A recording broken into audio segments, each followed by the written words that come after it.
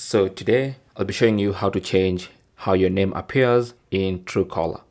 Now, if you don't have the Truecaller app and you don't have a profile, then Truecaller actually picks your name according to how other people have saved it on their phones. And then when someone, when you call someone who doesn't have your phone number saved, it's going to show them that name that it picked up from someone else's phone. Now you can change that and have Truecaller only display the name you want it to display anytime you're calling someone who has not saved your phone number. So to do that, just go to your App Store. That's the Google Play Store for Android and the Apple App Store for iOS. And find the Truecaller application. Okay. Now it's going to be available on all these applications. So make sure you download and install the latest version of Truecaller.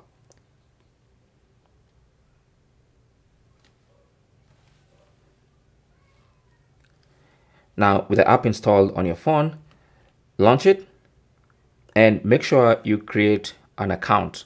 Now, if you don't have an account, then it's always going to pick up some names. Now, when you're creating an account, don't link it to Facebook or any other account. Just go ahead and put in an email address and create a profile on Truecaller.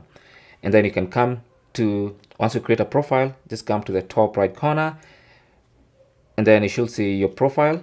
Just tap on edit. And then now the name you put here is the name that's going to appear on other people's uh, Truecaller. If they have true Truecaller and you call them and they don't have your number saved, then this is the name that's going to appear on their true Truecaller.